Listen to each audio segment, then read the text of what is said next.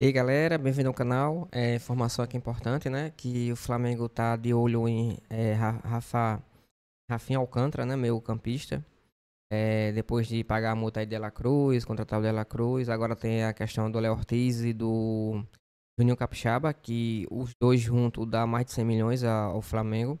É, isso é o que o Red Bull tá pedindo, né? Isso gerou desconforto. O Léo Ortiz quer vir muito pro Flamengo.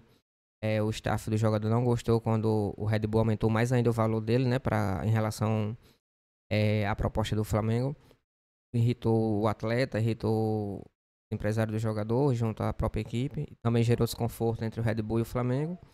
E estragou um pouco essa questão da negociação, né? Mas ainda o Flamengo não desistiu, tá bom? Tá insistindo bastante para contratar com ele. Tem o Vina também, que eu trouxe agora há pouco, no, é, que o Roma, né? É, o próprio jogador pediu o Roma para ser negociado com o Flamengo. O Flamengo tá de olho nele. E tá tendo essa impasse. O Flamengo já fez a primeira proposta, não teve êxito. E tá em negociação ainda, né? Com o Roma pelo lateral Vina. E agora tem o Rafinha Alcântara. É, lembrando que tudo indica que ele não pode vir agora, tá bom? Só no meio do ano, já por causa do contrato dele e tudo mais. É, mas o Flamengo tá tentando fazer tudo para trazer ele agora. Mas tudo indica que se ele vir, se ele assinar com o Flamengo, só vai vir pra metade do ano, tá certo? Meio campista que tem 30 anos, não sei se muito vale muito a pena, mas é um ótimo jogador, né? Tecnicamente falando. Mas vamos ver o que vai acontecer nessa situação.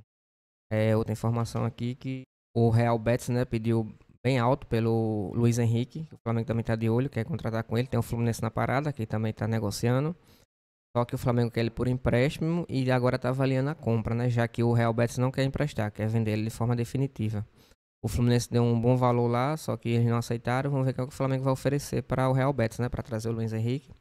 É um jogador novo, está em evolução, tem um, uma ótima técnica e vai ajudar bastante né, o Flamengo. Nessa temporada agora aqui vai ser de Copa América, o Flamengo vai precisar bastante é, reservas né, para altura, para poder suprir tanto o Arrascaeta como no, o próprio De La Cruz né, e outros jogadores que podem ser convocados para a seleção.